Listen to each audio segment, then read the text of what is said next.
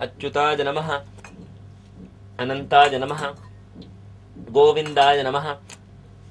केशव, नारायण, माधव, गोविन्द, विष्णो, मधुसूदन, त्रिविक्रम, वामन, श्रीधर, हृषीकेश, पद्मनाभ, दामोदर, शुक्लाम्बरधरं विष्णुं, शशिवर्णं चतुर्भुजं, प्रसन्नवदनं ध्यायेत् सर्वविघ्नोपशान्तये।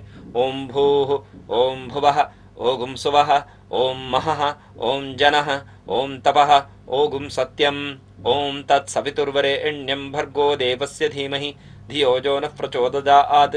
ओमापो ज्योतिरसोऽमृतं ब्रह्म भूर्भुवः सुवरोम् ममोपात्त समस्त दुरितक्षयद्वारा श्रीपरमेश्वरप्रीत्यर्थं श्रौत स्मार्थ विहित नित्यकर्म अनुष्ठान योग्यदा ब्रह्म तेजोभिवृद्ध्यर्थम यज्ञोपवीत धारणम करिष्ये। यज्ञोपवीत धारण महामंत्र से पर ब्रह्म ऋषि अनुष्टुप छंद परमात्मा देवता। यज्ञोपवीत धारणे विनियोगः।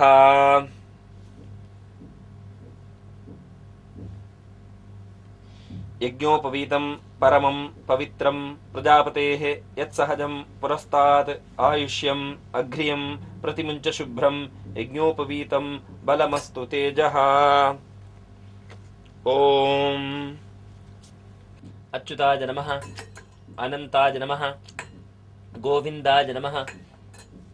केशव नारायण माधव गोविन्द विष्णो मधुसूदन त्रिविक्रम वामन श्रीधर ऋषिकेश पद्मनाभ दामोदर। उपवीतं भिन्नतन्तुं जीर्णं कश्मलदूषितं विसृजामि जले ब्रह्मन् वर्चो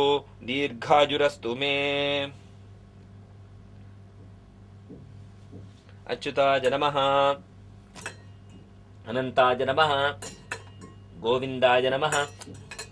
केशव नारायण माधव गोविन्द विष्णो मधुसूदन त्रिविक्रम वामन श्रीधर ऋषिकेश पद्मनाभ दामोदर